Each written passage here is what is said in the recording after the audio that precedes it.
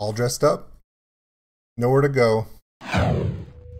It's time for reaction.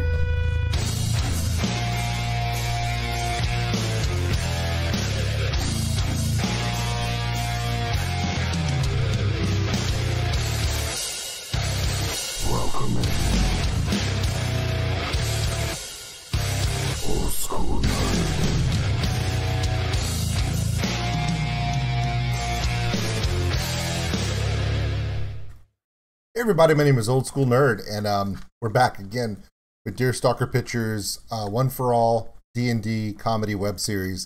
Um, our three plucky adventures. I keep calling them plucky, only because you can tell that uh, two of the members do their eyebrows well. One of them still needs help. Yes, I'm talking to you, Thomas. Okay, so I said that before I did another reaction that I would cosplay for it, and I am. I'm cosplaying right now. Uh, my cosplay is actually a Cajun reactor in South Louisiana reacting to videos from Australia. But I'm missing one vital piece, and I've been waiting for it to come in so I could finish my look. Okay? Came in the mail yesterday. Um, the return address is, um, wow, Auckland. I don't even know where that's at. Auckland. Um, that ain't from around here. And I tell you right now, somebody in the comments goes, uh, Auckland is the capital of New Zealand. No shit, bro. Okay, so let me open this bag up and see what's in here. Um, I mean, it, it could be something from Bungie. No. It could be something from my mom. No. she doesn't live in Auckland. But it actually is Yay, look. It's my otherworldly pen. Yeah. Yep. This is my otherworldly pin for uh, for my Patreon. Uh-huh. Put that on there. Just like that. All right. Good deal. See, now the look is complete. Now I have what I needed. All right. Okay. So now, got my otherworldly pin on, and it says thank you. Um, uh, the lighting's bad facing this way. So uh, thank you so much for your order. Really appreciate your support. Um, and this is uh, yeah, it's from their uh, supplier, their collab supplier, which does all their um um, does all their uh, merchandise, their shirts, their pins, and all that stuff. So that it's really cool. Um, yeah. So I have my otherworldly Patreon pin. So I'm good. Ready to do the next reaction. My cosplay character is a Cajun reactor from South Louisiana in the United States, reacting to Australian people doing D and D spoof comedy. It's it's fairly niche, but hey, I think I could pull it off. Let's go.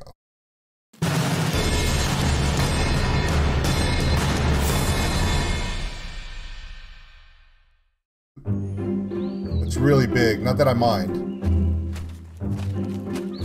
How much further? We've been walking for hours and my, my feet are hurting and I'm pretty sore and sunburned. Look how pink I am! Well, if you hadn't have run off into the forest and gotten us all lost, we'd probably be there by now. It's not my fault. I thought the squirrel had a bag of gold. It turns out that it was copper though. You need She chased. to get your eyes checked. She chased a squirrel that she thought had a bag of gold. I think Eva's gonna strangle her in her sleep. I have minus one to perception, so. Guys, please. I need my beauty sleep. Fine. We'll make camp. Is there anywhere nearby that's hidden that we can set up camp? Make a perception check. You see a clearing in the forest ahead of you, and as far as you can tell, it looks completely safe.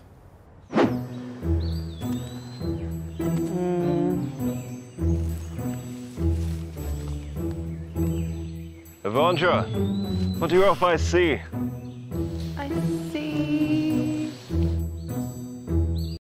Kindle is such a dork, but he's great at what he does. Also, it's true. For some reason, instead of someone with high wisdom, like, oh, I don't know, a druid or maybe a cleric, saying, hey, is this a good place to make camp? No, no. It's always the fighter or the sorcerer or someone who has like no wisdom. By the way, perception checks, your how you perceive things around you, and insight are wisdom based skills. So you always have these all their ability points on strength and constitution or dexterity making these perception checks. And their bonuses are like negative one or zero, and they'll roll a five, and they have no idea that. Well, like Nixie said, her her her perception is negative one, which means for those who don't know how this works, is if you go someplace and you're like, "Hey, is do I see anything in this room? Is it does it look safe?" Your dungeon master will say, "Roll a perception check." And perception is like how you perceive things, or insight is do you like, you know? So those are two wisdom skills. Good wisdom decision making skills.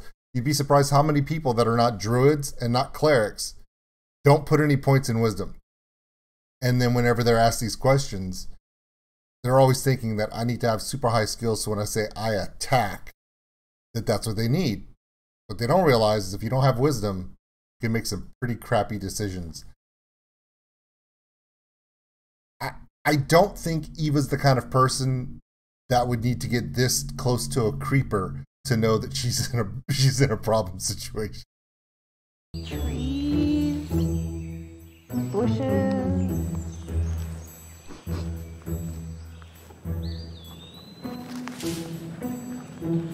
I see a forest. Looks like we're in a forest. Let's camp here. Keep an eye out there.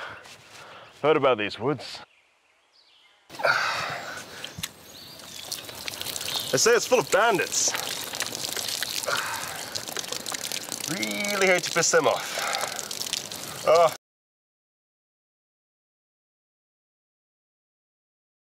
the fuck, Richard?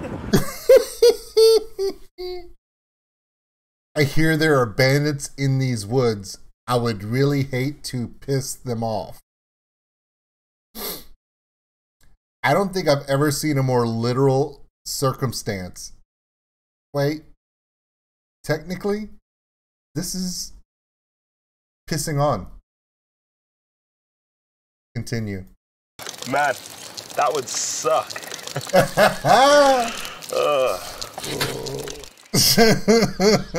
I hope we do run into them so we can burn them. And then I won't have to go looking for kindling. We're gonna set up camp here. Who's taking first watch? All right, guys, I'm going to bed now. Good night. Bye. No, you can't get out of it this time. Come on. Fine. I'll go first watch. As you go to take first watch, you are too distracted with complaining about how much you don't like Evandra. Nya, nya, nya, nya, nya, nya. I'm Evandra, and I'm the leader, so what I say goes. Well, how about this? You like a fireball? Oh, no, I'm melting. No, why? Nixie, you were right all along. You're so much better and smarter than me. No. There's a sound in the forest. And nothing happens. Second watch. I've got this.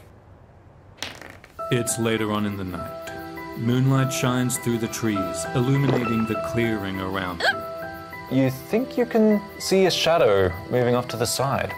And it's that squirrel from before. Final watch. Sure. Good job, squirrel. As you go for the final watch of the night, you're feeling very sleepy. Long, long time. All you had to do was stay awake, Wanna lay my head. and you fall asleep. Nice. Good job. And when you wake up in the morning, all of your worldly possessions are gone. Nice. Who stole my earrings? What the hell, man? I don't know why you're looking at me. I, I don't even have dark vision. Why would you let me keep watch? Do we at least see where they went? Make a perception check. Oh, jeez.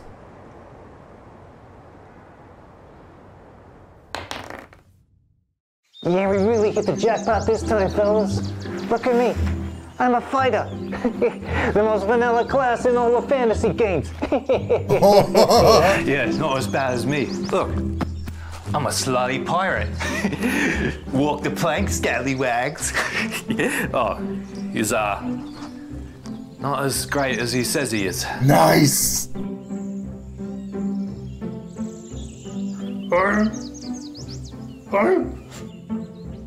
Beautiful.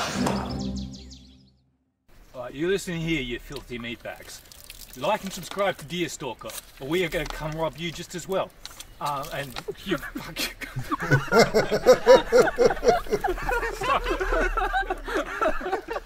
Nice. Smash that bell icon, for I come to your house and smash your little face. And you better believe that our Patreon supporters are going to be the only ones showed any leniency when I get round and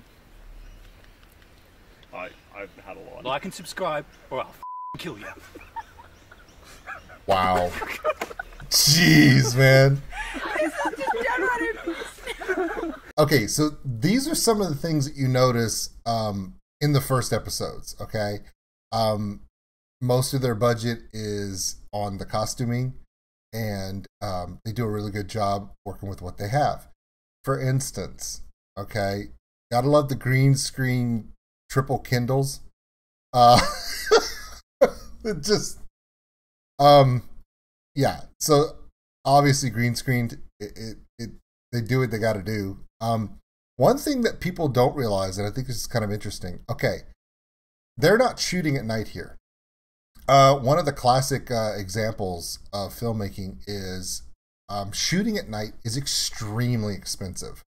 Uh, to properly light film to record at night is extremely expensive, and it's really hard to do if you're actually in the forest. Um, so even uh, unless it's a Hollywood production, like major budget production, or and in most cases, most TV shows do not film at night, and if they do, they usually do it in a city where they can grab natural city street lights and just kind of work elongated shots and, and really find it out. So in the beginning, um, if they want to do a night scene, they'll do it like this. And what this is a classic Hollywood trick. It's a classic filmmaking trick. Okay, we look at Nixie right here. Um, this is not obviously not nighttime. Okay, you can see the sun on her hands, in her hair, casting shadows on her on her. Now some people say like, okay, well they shot the moon, so it could be moonlight. Uh, well, true, but problem is is when you make films like this um i've i've been some nights in the forest where the moon is full and you could almost get to this level of light from the moonlight. However cameras don't really work the same way that our eyes do and really can't capture that well. So what they do is it's a classic trick.